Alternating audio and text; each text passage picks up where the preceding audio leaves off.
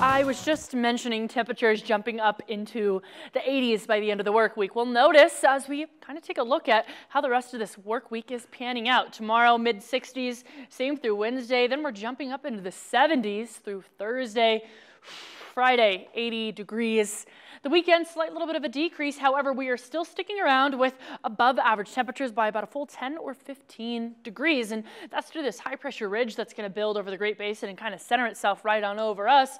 So that's what we're expecting with lots of sunshine, minimal cloud coverage, and of course those 80s on the way. We'll notice in terms of our future cast that even as we kind of go to sleep tonight and even wake up tomorrow, get into Tuesday evening, still clear skies locally. The only little bit of action that could be of any interest is maybe over those northern mountains, a little bit of some snow hitting the ground, but mind you, it's going to be very short-lived and very, very minimal accumulations due to that high sun in the sky before that clears on out. And again, wraps up the work we can get into the weekend with beautiful skies. Nationally, this is what we're watching in terms of that high pressure ridge I just mentioned as it builds and builds and builds off that west coast, bringing in all of this warm, dry spring air.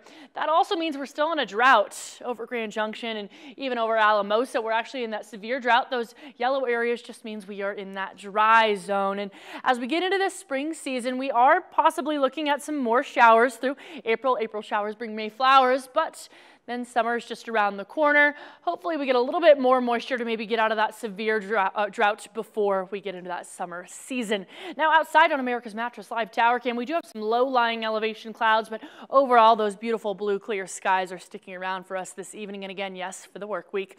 And feeling 58 in Grand Junction, 54 through Montrose. We'll even notice earlier today, that's what that afternoon high was. That's exactly what we hit during around that maybe 3, 4 p.m. hour, which is shy of those seasonal averages. But again, that's going to shift as we look forward. Now from the Allergy and Asthma Center of Western Colorado, we are looking at an excessive amount of tree pollen, low grasses, low weeds, just a tad bit of some mold pollen with us. And we'll notice this evening, we're also just right at that sub-freezing range. 32 degrees seen in Grand Junction, 33 in Moab, 28 in Montrose. However, as we look into tomorrow, I did mention we're jumping up. We're feeling 60s, even upper 50s as we look towards Montrose.